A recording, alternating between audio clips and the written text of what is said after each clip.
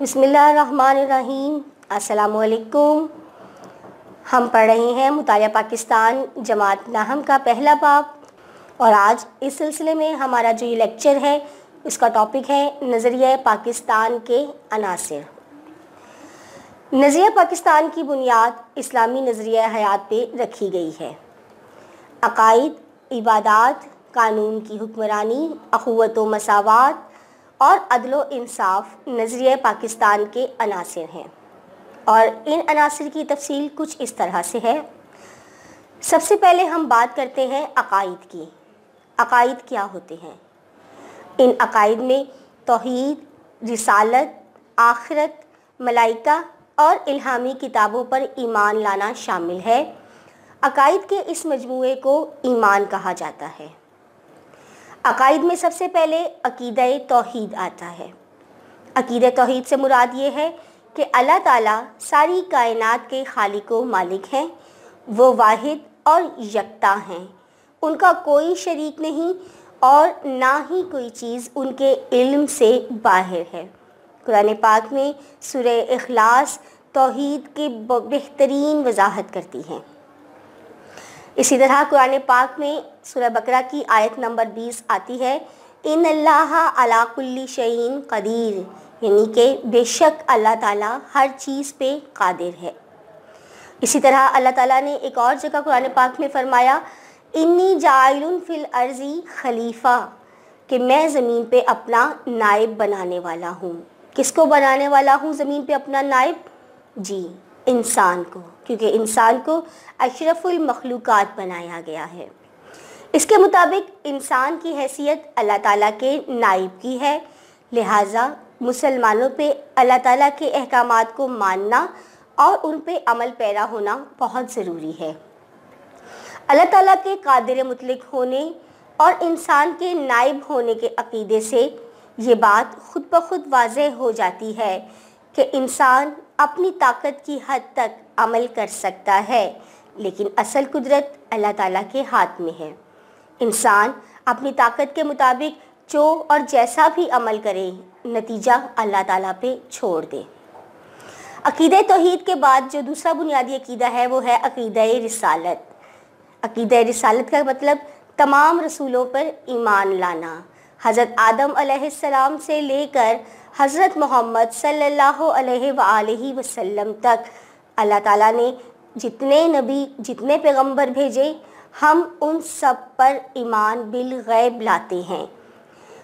और इस्लाम में आने के बाद ये लाजिम है कि रिसालत को दिलो जान से तस्लीम किया जाए और उसमें कोई भी शको शुबा ना किया जाए।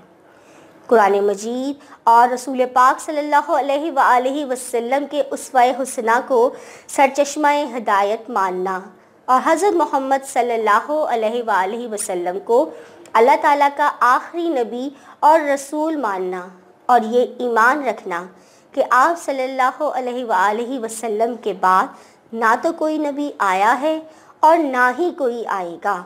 अकीद रसालत का लाजमी जुज़ है और जो भी इस अकीदे का इनकार करता है, वो मुसलमान नहीं हो सकता।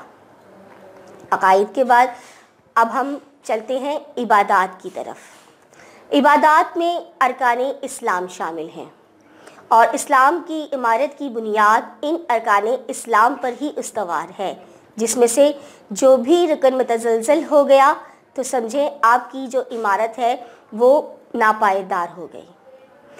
अरकान इस्लाम में सबसे पहला रुकन जो अकायद का भी रुकन था, तोहद तोहद रिसालत। ला इल्लल्लाह मुहम्मदुर रसूल अल्लाह कोई ज़ात नहीं अल्लाह के सिवा और मोहम्मद सल्लल्लाहु अलैहि वसल्लम अल्लाह ताला के रसूल हैं। जब हम तोहद रिसालत का इकरार कर लेते हैं तो हम हल्के बगोश इस्लाम हो जाते हैं। उसके बाद दूसरा रुकन नमाज़ है। नमाज़ इस्लाम का बुनियादी और सबसे ज़रूरी रुकन है। कुरान मजीद में अल्लाह ताला ने बहुत सारे मकाम पे नमाज़ कायम करने का हुक्म दिया है और उस नमाज़ को मुकर्रा अवकात में अदा करने की ज़्यादा तलकिन की गई है। अल्लाह ताला ने कुरान मजीद में इरशाद फरमाया इन सलाता कानत अलमोमिना किताबन मौहूता बेशक नमाज़ का मोमिनों पे अवकात मुकर्रा में अदा करना फ़र्ज़ है। ये नहीं कि जब हमारा दिल किया, हमने नमाज़ अदा करनी शुरू कर दी। बेहतरीन नमाज़ वो होती है जो अव्वल वक्त पे अदा की जाए। दरअसल नमाज़ कायम करना हमें दीन इस्लाम को कायम करना सिखाता है। ये वो नमूना है जिसका मुजाहरा हर रोज़ होता है। और अल्लाह ताला की अतात का ऐसा ही निज़ाम माशरे में कायम होना चाहिए। और नमाज़ इसकी किसी भी हालत में माफ़ी नहीं है। हदीस नबवी सल्लल्लाहु अलैहि है कि अगर तुम खड़े होकर नमाज़ पढ़ने की कुदरत नहीं रखते तो बैठ के पढ़ो। बैठ के भी नहीं पढ़ सकते तो लेट के पढ़ो। लेट के भी नहीं पढ़ सकते तो इशारे से अदा कर लो। लेकिन ये कहीं पे भी नहीं किया, कहा गया कि जाओ, तुम्हें माफ़ी है, तुम नहीं पढ़ सकते तो ना पढ़ो। अब इस्लाम का तीसरा रुकन, ज़क़़त। नमाज़ जिस्मानी इबादत है, बदनी इबादत है। हम अल्लाह ताला के आगे झुकते हैं, अपना सर उनके कदमों में रखते हैं और अपनी आजिज़ी का इजहार करते हैं। और ज़क़़त वो थोड़ी सी मुश्किल इबादत है, क्योंकि वो हमारी माली इबादत है और माल इंसान को बहुत प्यारा होता है। लेकिन अल्लाह ताला ने इतना खूबसूरत निज़ाम दिया हमारे मज़हब के ज़रिए हमें कि इस माल की गर्दिश को कायम रखा, कि वो सिर्फ़ अमीरों के हाथों में ना रहे और गरीब का इस्तेसाल ना होता रहे। ज़क़़त की गर्दिश से माल दौलत पूरे माशरे में फैलता रहता है।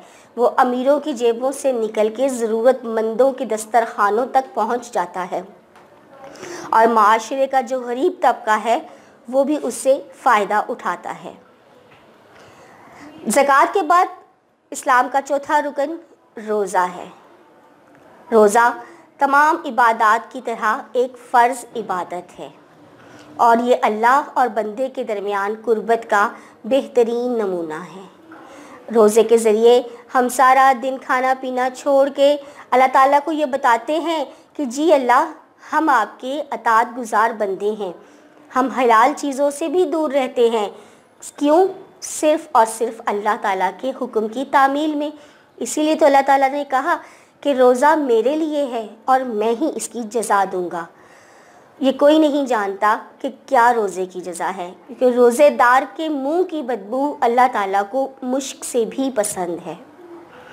रोज़े के बाद जो हमारा इस्लाम का पांचवा रुकन है, वो है हज, जो कि साहिब इस्तात लोगों पे फ़र्ज़ किया गया है। और ये वो खूबसूरत तरीन इबादत है जिसमें तमाम दुनिया के मुसलमान एक मरकज़ पे खड़े होके अल्लाह ताला के आगे सजदे में सर रख के अपनी आजजी का इजहार करते हैं। और लब्बैक अल्लाहुम्मा लब्बैक की खूबसूरत सदाएँ रूह को मुनवर कर देती हैं। ये ज़यूफ़ुररहमान होते हैं, अल्लाह के मेहमान जो हज पे जाके अपने गुनाहों की माफ़ी मांगते हैं।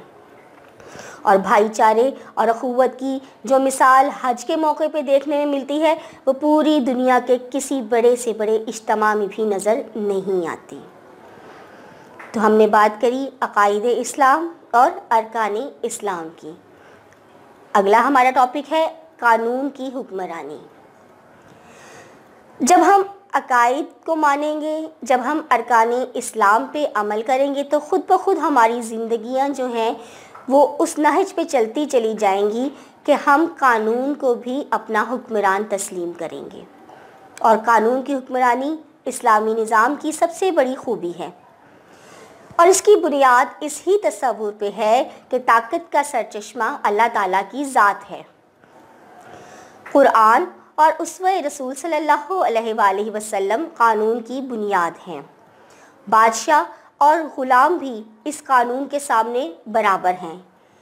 यूँ कहा जा सकता है कि इस्लाम के निज़ाम में जमहूरीत की रूह मौजूद है। हुक्मरानों को बाहमी मशवरे के ज़रिए फ़ैसलों का पाबंद करके जमहूरीत की मुहर लगा दी गई और शर्त ये रखी गई कि तमाम के तमाम फ़ैसले कानून और सुन्नत की रोशनी में हों। तो आज हमारा लेक्चर यहीं पर अख्ताम पजीर होता है। इन ताला, अगले लेक्चर में हम इस नज़रिया पाकिस्तान के अनासर के दूसरे अहम पॉइंट्स का ज़िक्र करेंगे। अल्लाह हाफिज़।